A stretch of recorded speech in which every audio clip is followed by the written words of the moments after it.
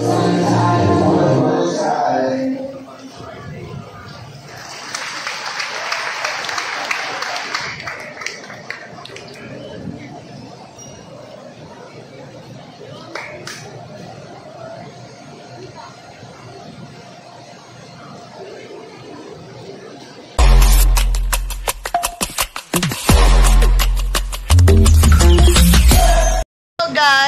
will go now to Yasha School for her recognition.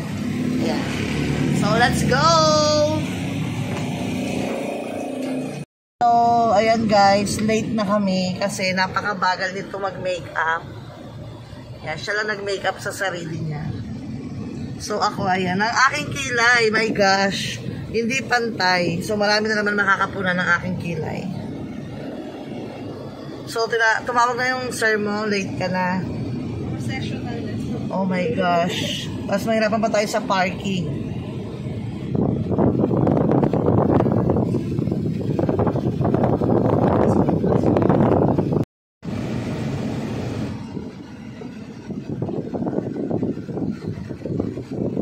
So, ayan, hindi naman masyadong traffic papunta doon sa school.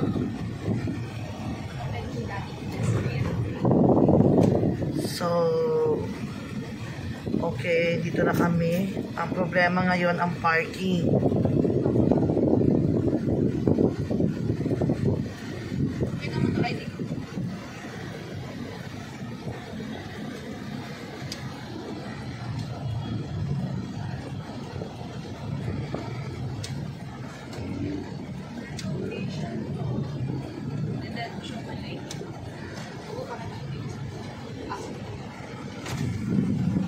Ikaw na din sa ano ba?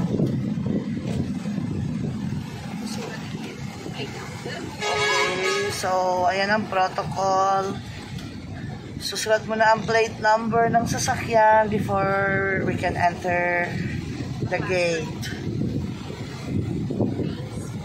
Okay. Then ID. ID sir, ID. ID. Kayo ng ID po.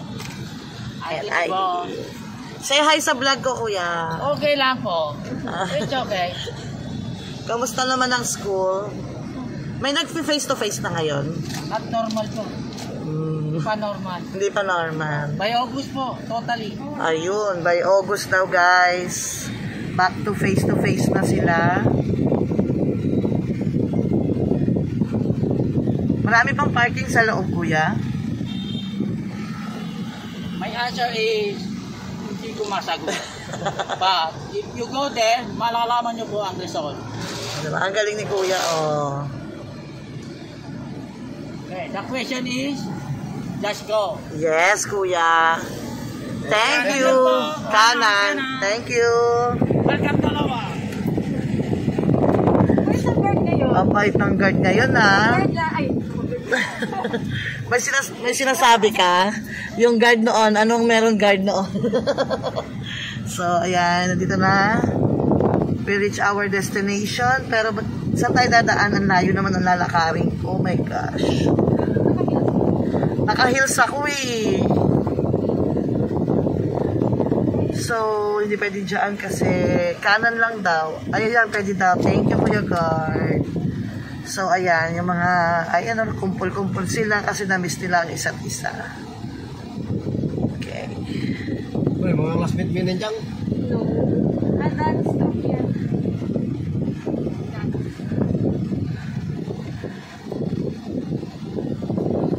May automotive tech na rin pala dito. Turo kaya ako dito. Kano kay sweldo? Ako, pagtsatsagaan mo pa yung sweldo dyan. Kay, kay Daddy Vic na lang. Shout out, Daddy Vic. okay, so baba na tayo. Hayaan mo si Daddy mo maghanap ng parking dyan. Ayan ang sinasabi ko, we're late. Oh my gosh. Tayo magka-parking.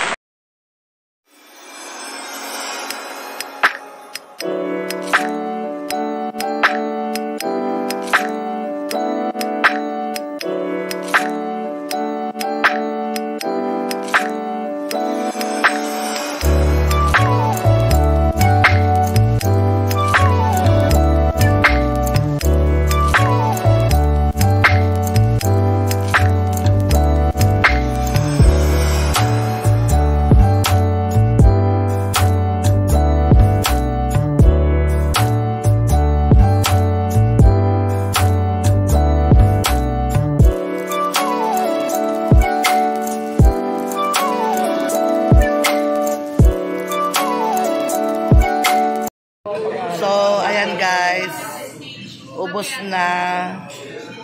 May extra rice pa ako. Binagoongan rice.